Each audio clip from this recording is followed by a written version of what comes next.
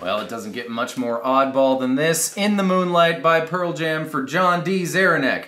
Toaster Dog, gee, I hope that's your real name. Rick Van Dorp, Angelo, don't worry, who says once we do this song he can be content with his life. So, Angelo, you're welcome.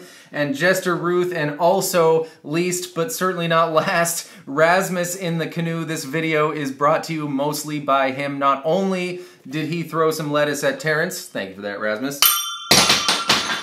He also made us a really great tab, and I'm going to show you where to get that in just a second. But first, I want to tell you a pretty funny story about Rasmus. I do not think he will mind me sharing here.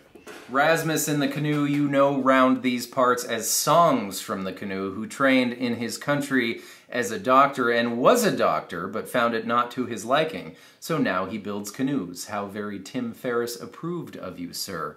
Which makes him, of course, an ex-doctor. But with this virus nonsense, he was called back into the trenches, rendering him an ex-ex-doctor, but he has recently completed his stay, and now he is an XXX doctor. So everybody give him an elbow for going back into the trenches and also a hearty congratulations for being done. Also, I got a nice email from him welcoming me to the middle of nowhere, which is where he lives on the other side of the world and where I live now, citing that we are practically neighbors. And also in his country, the term middle of nowhere is an idiomatic phrase which translates to Lars Diarrhea's field. Who is Lars Diarrhea and why does he have a field named after him? Have you made it this far now to the tab? You can find this tab on my website, ryanlendt.com. Show notes, but the title, of course, is in super secret backwards code, so no miscreants can horn in on our secret knowledge. In the moonlight, in the moon pies, vanilla cream, vanilla ice, who, of course, was in Teenage Mutant Ninja Turtles 2, Secret of the Ooze, where he sang ninja rap. Ninja Rap is the title you're looking for, and I do highly recommend you go get this. He's written some really nice things to help you along. And I have included a couple of little spots where, uh, not that I disagree with Rasmus maybe, but just something else for you to consider. Something I heard might be there. This is a really tricky song, so you know, you can try them out and see which one suits you better. I'm sure whichever one you choose, you'll be playing in the moonlight in a few short seconds. But first we have to tune the dang guitar. The E string is going down to D like drop D, so down two half steps. The A string is going down similarly two half steps to G. You'll recognize this from a bunch of Soundgarden tunes, of course, and the rest of the guitar is regular. And now we can finally begin. Pointer finger, G string second fret. You're gonna pluck strum the D and the G strings, and that's it for this whole first chunk, and the G string is going to move around thusly. Two, two, four, five, four, two. I don't know if this is correct counting, but it helps me anyways to think of this song as starting on the upbeat before the measure starts. So like one, two, three, four, and. Mm-hmm. Followed by the D string third fret, G2, and B3. Two, three, four, and. You do the first chunk again. But then we're gonna grab A, you know, used to be A, we're gonna call them the names they used to be, A4 and D4, because we can do that kind of thing now in this tuning. Followed by, I am going to illustrate what I think it is, and you can read Rasmus's tab uh, and try out what he thinks it is and decide for yourself there. But I'm gonna go with A3, D5 to 3-3, and then sloppy open, followed by A2, open, used to be E, now D string, right? So, when I was listening to it, I thought at first that it was, because you do hear that note twice, there, not there, and there as you're doing it, but the second time you hear that note, I don't think it's there. I think it's the open G string on your sloppy open situation.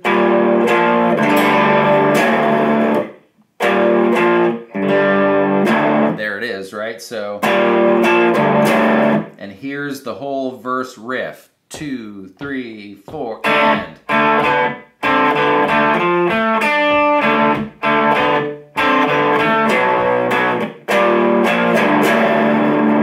And I do hear that sloppy low E string ringing out there, so that lends more credence to my... And it just kind of chimes in some in somewhere in the middle of your doing your stuff there. Okay.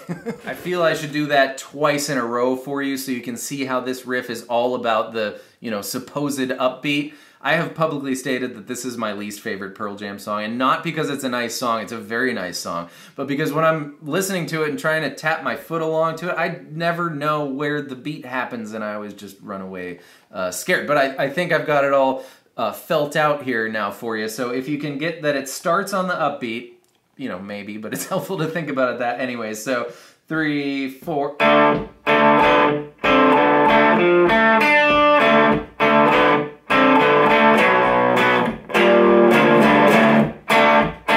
So it ends on an upbeat and then it starts on the next upbeat.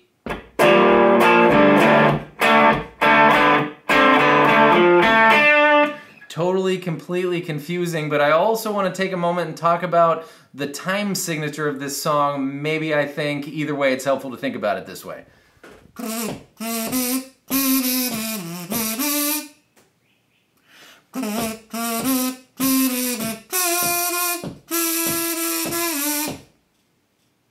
A measure of six followed by a measure of nine. Matt F. Cameron. Super tiny little detail. Sometimes you hear an extra beat in that verse riff, and I think it's just the open D string, so you'll be all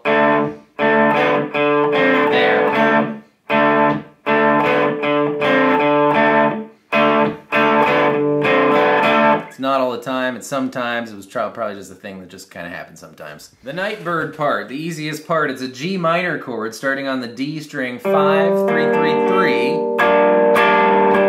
up two frets to A minor, back down two frets to G minor, followed by that part. It happens right after the verse riff. There's no time to switch.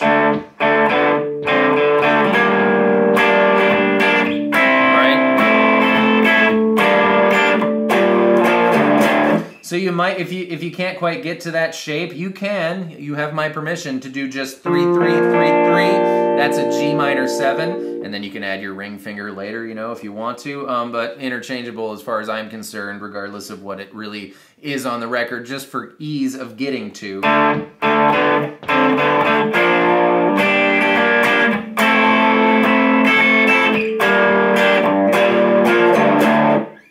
So fun. For the super tiny solo section, the STSS Mike, I believe, is in G minor. He starts with E15 and B18. Bend the B string, not the E string. So um, we don't have, of course, our two low strings anymore. So our G minor shape up here for your noodling is going to start on the D string, and it's going to be 15, 17, 15, 17, 15, 18, 15, 18, do your favorite thing. There's not much time to fill up, but the rhythm section for which is going to be the verse lick,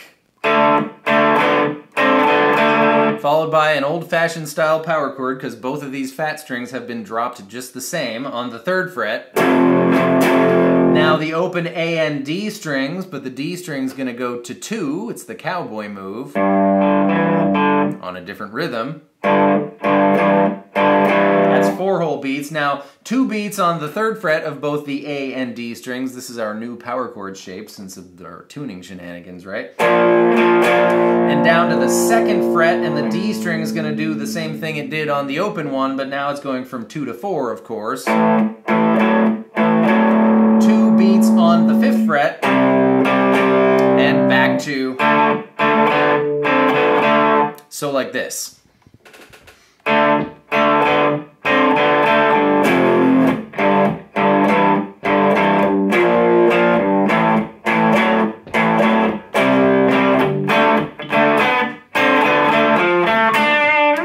On and so forth. The outro rhythm is really kooky, maybe because it's kind of regular. And the whole song hasn't been regular, so it's hard to adjust backwards. Um, but here's the rhythm. You do a verse riff, and then you do open A and D, up to the third fret, up to the fifth fret, like this.